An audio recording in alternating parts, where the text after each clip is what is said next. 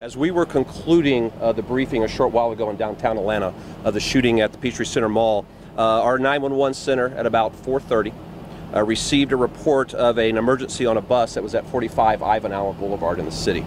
An officer arrived about one minute later uh, when he confronted the perpetrator that then forced the bus driver to drive off. 39 year old Joseph Grier is facing several charges, including murder and 11 counts of kidnapping.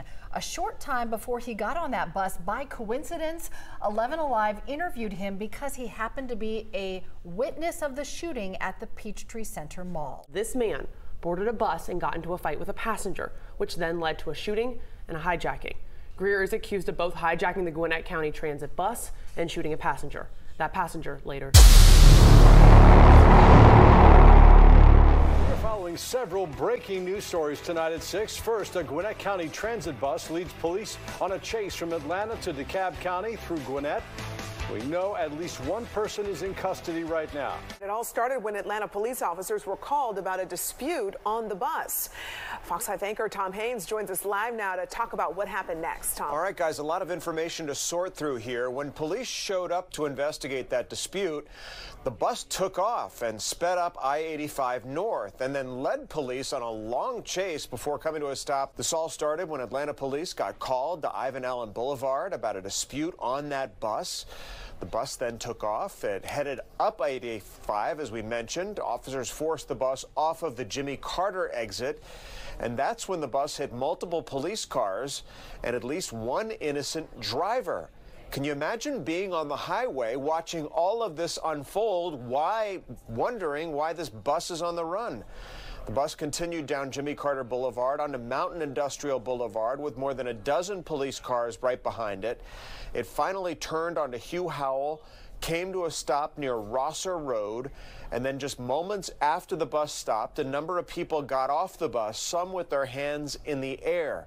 SWAT teams went onto the bus, they blocked it with one of their SWAT vehicles.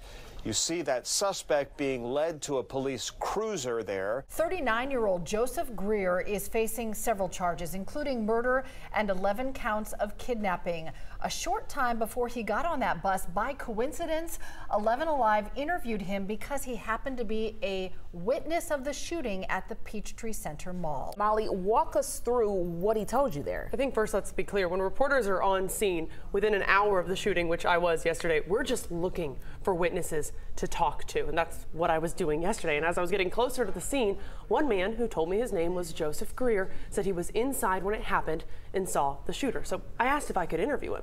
This is our interview you're seeing on the screen now. Now, to be clear, please say that shooting that I was interviewing him about happened at the Peachtree Center Mall food court around 2.15 yesterday afternoon, shortly after we interviewed him for only about four minutes. At 4.20 that same afternoon, the GBI says this man boarded a bus and got into a fight with a passenger, which then led to a shooting and a hijacking. Grier is accused of both hijacking the Gwinnett County Transit bus and shooting a passenger. That passenger later died. This is a clip when I talked with him before he got on that bus. I'm sorry, I apologize. I'm, bipolar. Let me tell y'all that. I'm on medication for like two weeks, but Grady gonna give it to me. Um, so I'm leaving out the thing. So I see the uh the shooter. You know what I'm saying? I guess the shooter. Like to me, he because I'm 6'5", 285. So uh, this the first guy on the scene right here with the curly hair with the waves. He the one stop me from being. Authorities say 39 year old Joseph Grier hijacked the bus with 17 people on board, holding a gun to the bus driver's head. Hostage situation on the Gwinnett bus. PD's on scene. Our 911 operators trying to navigate what was a gunman with a gun to the head of a bus driver saying, Don't stop this bus, or else worse will happen. This is the type of thing that obviously no one uh, is, I mean, it seems like the movies. Footage from above shows the bus sideswiping two cars, causing others to collide as they tried to get out of the way. Johnny Gilbert got a call from his wife on board telling him one man shot another man.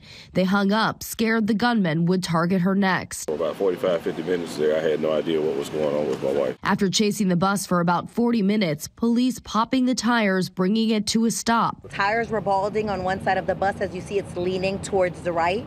So we were able to position our Bearcat to keep it from moving any further, thus allowing the bus to be immobilized. That injured passenger was transported to the hospital where they died. Authorities say the suspect is a convicted felon with 19 prior arrests. As we were concluding uh, the briefing a short while ago in downtown Atlanta of the shooting at the Peachtree Center Mall, uh, our 911 center at about 4:30 uh, received a report of an emergency on a bus that was at 45 Ivan Allen Boulevard in the city.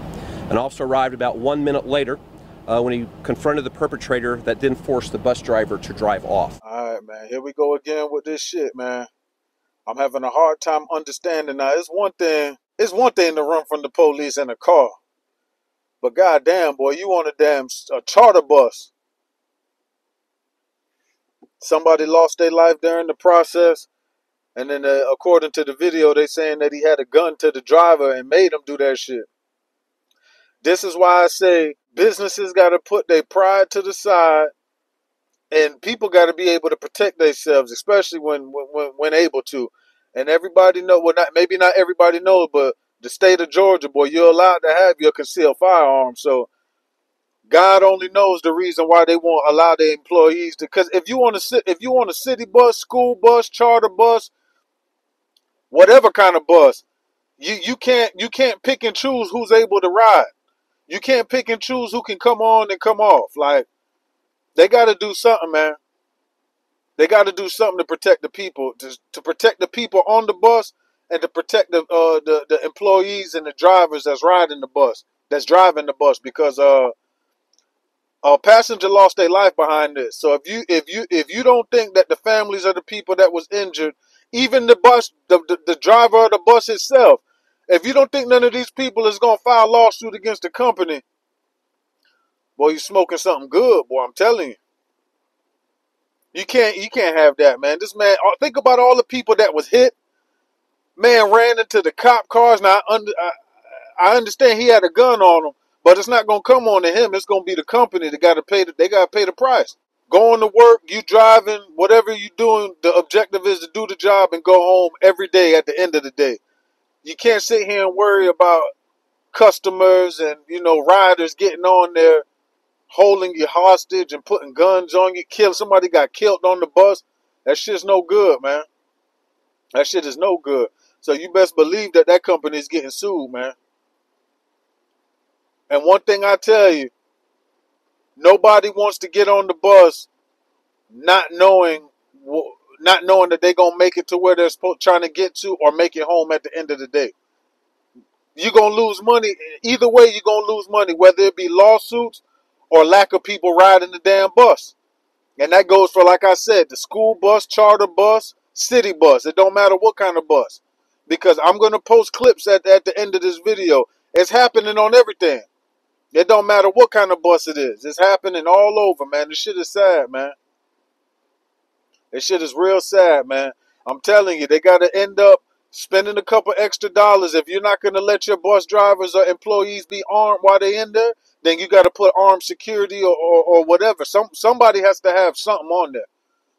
Metal detectors on the bus, armed security on the bus. They got to do something, man, because this shit is gonna keep happening, and it's been happening. It's not good at all. Condolences to the family who lost their loved ones, man. But this shit, this shit is no good, man. Y'all let me know what y'all think and what they can do to improve the safety on the buses, man. As always, appreciate y'all rocking with the channel. Like, comment, subscribe, and uh, tap in for all your trucking news and content.